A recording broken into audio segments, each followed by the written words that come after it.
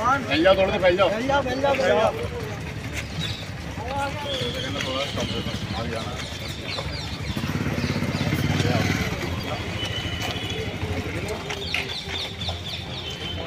हिंदुस्तान के अंदर जो जुल्म और ज़्यादती का माहौल एक बना के रख दिया है और जिस हिसाब से कत्ल आम एक आम बना के रख दिया इंसान की जान की कीमत इंसान से सस्ती, जानवर से सस्ती बना के रख दी गई।